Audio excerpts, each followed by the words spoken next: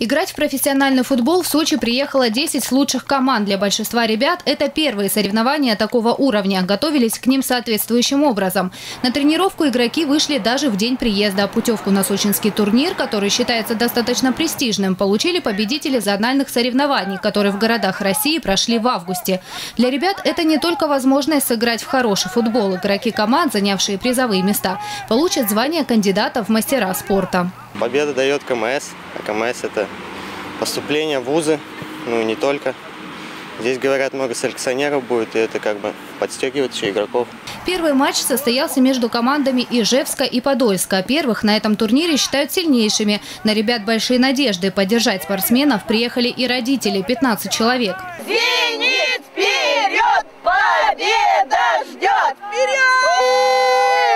первых же минут футболисты показали свой настрой на победу. Штрафных и аутов долго ждать не пришлось, впрочем, как и голов. Первый на 11 минуте забил игрок «Зенита» из Ижевска. На 24-й общими усилиями был забит и второй гол. В итоге победу ижевцы одержали со счетом 3-0.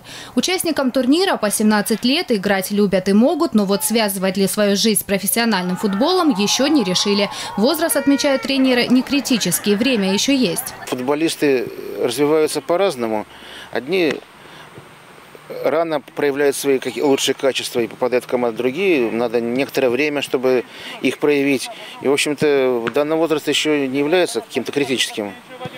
Поэтому этот турнир, он как бы дополнительная возможность ребятам эти качества проявить показать, ну, чтобы их заметили и, естественно, пригласили в клубы. Время, чтобы взять реванш у проигравших есть. Турнир будет проходить до 10 октября.